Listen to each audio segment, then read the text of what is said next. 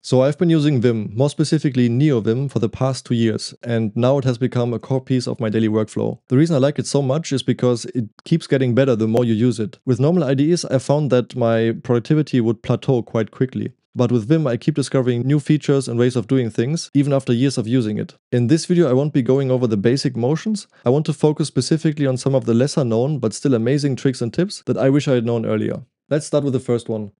If you're watching this video, you probably know the classic way to exit Vim with colon, WQ to save and quit, or Q exclamation mark to quit without saving. But did you know there are quicker shortcuts for exiting Vim? For example, if you made some changes and you want to save and quit, what you can also do is simply type capital Z, capital Z, and that's it. Now let's open this file back up. Let's make some more changes. And you can also quit without saving with ZQ. It's a small trick, but it can speed up your workflow, especially if you're in and out of files quite frequently.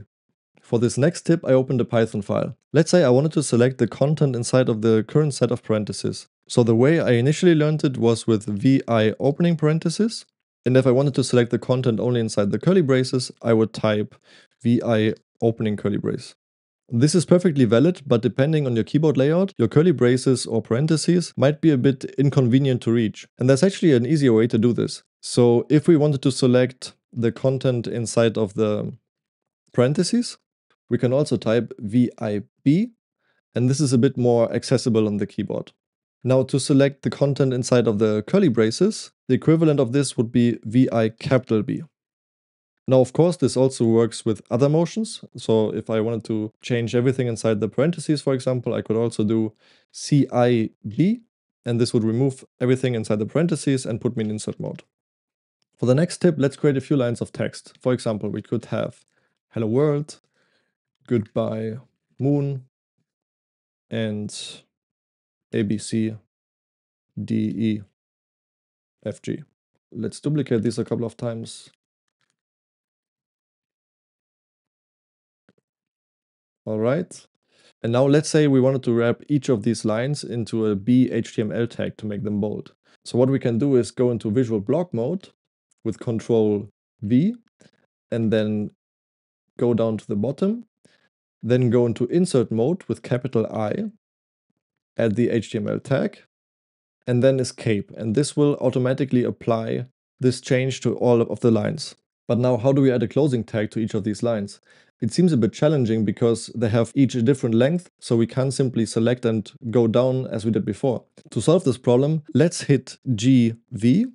This will select the last highlighted text, so we are back in visual block mode. And now let's type dollar sign to go to the end of the line. And from here we can type capital A to append to the end. And now we can type the closing tag, hit escape, and this will apply the change to all of the lines. So this was actually two tips in one. We've seen how to make a change to multiple lines at the same time, but also how to highlight the last highlighted text again. Another motion I find myself using quite often is to use tilde to toggle the case of what's under the cursor. So for example, if we wanted to have a capital H here, then we could just say tilde and this will make it a capital H. And we can also undo this by pressing tilde again. We can also apply this to a word in this case, we would type G tilde and then a motion, so for example W, and this will apply the toggle case to the whole word. Now we can also get really fancy and do something like G tilde IT for inner tag, and this will capitalize everything that's inside of the B tag.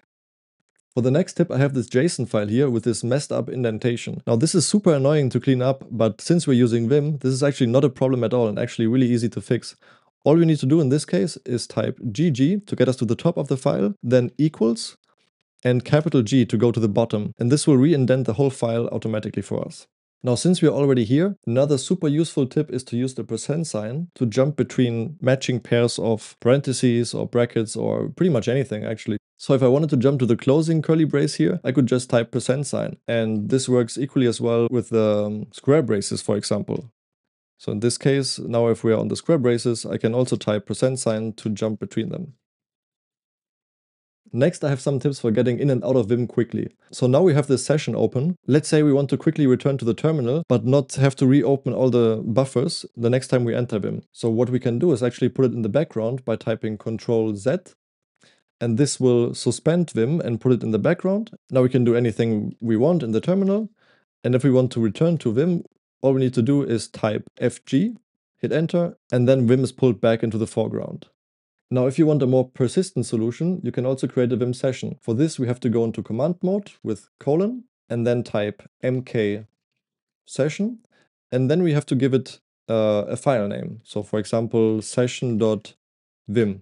And now if I if I exit out, we can see that the session.vim file got created. Now if I go back into Vim, you can see that now I'm back at my starting screen. But I can source this session file and now we are back where we left off previously.